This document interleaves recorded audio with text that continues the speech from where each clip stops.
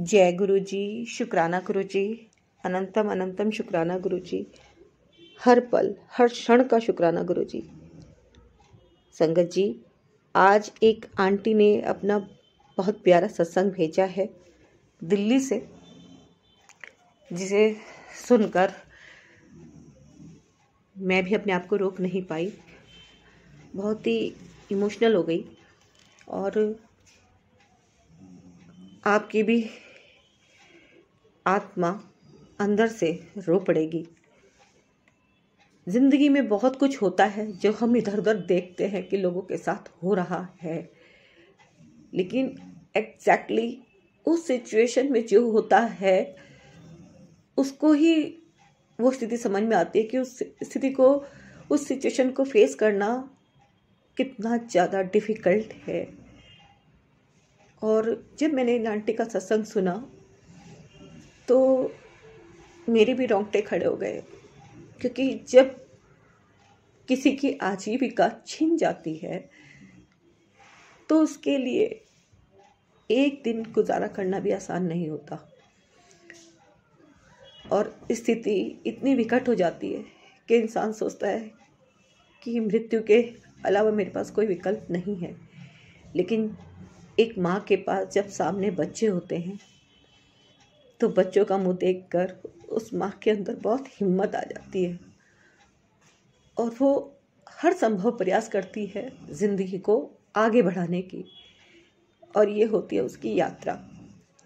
और जब इस यात्रा में हमें किसी गुरु की शरण मिल जाती है, जैसे धूपती बहुत धूप में हमें पेड़ की छाव मिल जाती है। और वो पेड़ की छाव है हमारे प्यारे गुरु जी गुरु जी ने उनको एक शक्ति दी, एक हिम्मत दी, एक सहारा दिया, एक पॉजिटिव एटीट्यूड दिया, जिससे कि वो आगे बढ़ें और बच्चों की परवरिश कर सकें। संगत जी गुरु जी ब्लैसिंग कल्याण की चैनल पर मैं सत्संग को शेयर कर रही हूँ। आप भी अपना सत्संग शेयर कीजिए, जिससे समाज में हर किसी के दिल में एक मनुष्य, दूसरे मनुष्य के प्रति श्रद्धा रखे, सम्मान की दृष्टि रखे, कोई किसी के साथ धोखा ना करे, कोई किसी के साथ अपना व्यवहार ऐसा ना बनाए कि हर कोई एक दूसरे को शक की निगाह से देखे। परिवार एक दूसरे के काम आता है। ऐसा सब लोग सोचे किसी के साथ दुख की घड़ी में। अपना परिवार ही सबसे बड़ी हिम्मत होता है। अगर एक लड़की को उसका सहारा ना मिले तो उसके लिए जीवन कठिन हो जाता है। संगत जी, इस सत्संग को आप ज़रूर शेयर कीजिएगा। ज़्यादा से ज़्यादा शेयर कीजिएगा, जिससे सब लोग ये समझें कि एक लड़की को अपने परिवार की कितनी ज़्यादा ज़रूरत होती है, क्योंकि हम लोग एक सामाजिक प्राणी हैं। है ना? वीडियो को लाइक शेयर ज़रूर कीजिएगा। कमेंट में गुरु जी का शुक्राना ज़रूर कीजिएगा और चैनल को सब्सक्राइब कर लीजिए। मैं गुरु जी से अरदास करती हूँ कि जिन आंटी ने भी ये सत्संग शेयर किया है गुरु जी उनको हिम्मत दें, शक्ति दें और खूब खुश रखें। जय गुरु जी शुक्राना गुरु जी आंटी का सत्संग में शेयर कर रही हूँ। आप सभी लोग कृपया पूर्वक ध्यान से सुने। जय गुरु जी शुक्राना गुरु जी जय गुरु जी शुक्राना गुरु जी ओम नमः शिवाय शिव जी सदा सहाय। ओम नमः शिवाय गुरु जी सदा सहाय। सारी संगत जी को मेरी तरफ़ से जय गुरु जी सबका भला हो, सब सुखी रहें, सब स्वस्थ रहें। संगत जी, मेरा नाम सुमी नेगी है। मैं दिल्ली से हूँ। यह नाम मुझे मेरे पिता के द्वारा दिया गया था। और ये दिल के बहुत ही करीब है। संगत जी, मेरे पिता मुझसे बहुत प्यार करते और मैं भी उनसे बहुत ही ज़्यादा प्यार करती थी।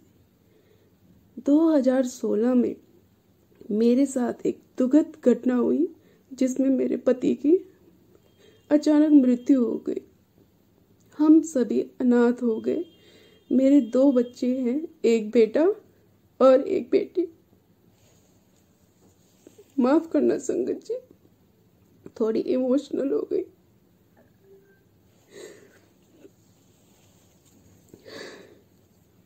संगत जी, जिस समय अपनों की सबसे ज़्यादा ज़रूरत होती है, उसी समय मेरे परिवार वालों ने मेरा साथ छोड़ दिया। मेरे आजीविका का कोई साधन नहीं था।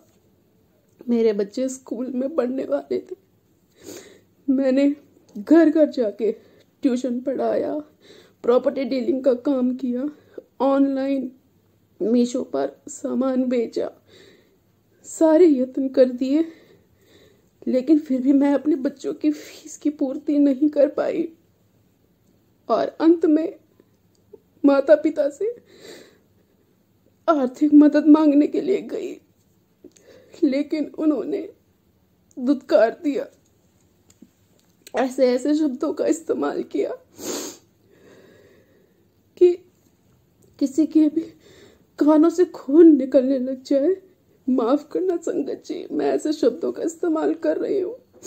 उन्होंने मुझे कहा कि कुत्ते की तरह बच्चे पैदा कर देते हैं। जब औकात नहीं है पालने की तो क्यों पैदा किया?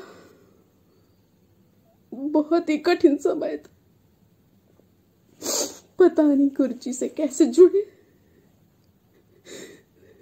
शायद गुरु जी ही हमारी परीक्षा ले रहे थे और दिखा रहे थे कि हाँ तेरा अपना कोई नहीं है, सिर्फ़ मैं तेरा अपना हूँ। संगत जी गुरु जी कहते हैं कि सत्संग शुरू से सुनाए। यह मेरा पहला सत्संग है, संगत जी। गुरु जी का मैसेज कई महीनों से आ रहा था कि सत्संग सुना, पर मैं हिम्मत नहीं कर पा रही थी। वैसे तो मैं गुरु जी का स्ट्रीकर स्वरूप गाड़ियों पर लगा हुआ देखती थी और मन में सोचती थी कि ये महान आत्मा कौन है? बाकी गुरुओं के जैसे गुरु जी के प्रवचन नहीं आते थे और ना ही किसी धार्मिक टीवी चैनल पर वो दिखाई देते थे। तो मेरे मन का ये प्रश्न मेरे मन में ही रहा कि आखिर गुरुजी कौन है? 2018 मार्च में मेरे बेटे ने मुझसे कहा कि आपको मैं एक मंदिर ले चलता हूँ। मैंने भी किसा, किसी बिना नानुकुर के बोला कि हाँ हम चलते हैं। मेरी बेटी, मेरा बेटा और मैं तैयार हो गए। मंदिर गए। उस दिन ही हमें लंगर प्रसाद लेने का सौभाग्य प्राप्त हुआ। उसके बाद कभी कभी हम बड़े मंदिर जाते थे। फिर कोविड आ गया और सारे जगह बंद हो गई। संगत जी, मैं ट्यूशन टीचर हूँ। मेरा काम बिल्कुल ठप हो गया। कोविड के टाइम में एक भी पैसा मेरे पास नहीं था। यहाँ तक कि एक टाइम खाना बनाते थे और दो टाइम खाते थे हमने।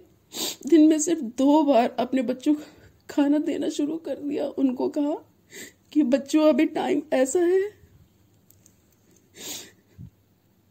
थोड़ा सा मैनेज कर लो। संगत जी, मुसीबत के समय कोई किसी का नहीं होता। सिर्फ़ मेरे गुरुजी मेरे साथ में थे, उन्होंने मुझे और मेरे बच्चों को संभाला। बच्चों की पढ़ाई पूरी करने में मदद की। फ़ीस का अरेंजमेंट कहाँ से हुआ, कैसे हुआ, मुझे बिल्कुल भी नहीं पता। संगत जी, माफ़ करना, मैं कुछ ज़्यादा ही इमोशनल हो रही हूँ। मुझसे अब ज़्यादा कुछ कहा नहीं जाएगा। बाकी मैं अपने अगले सत्संग में आपको बताऊँगी। मुझे माफ़ कर दीजिए। जय गुरु जी शुक्राना गुरु जी ओम नमः शिवाय शिव जी सदा सहाय। ओम नमः शिवाय गुरु जी सदा सहाय।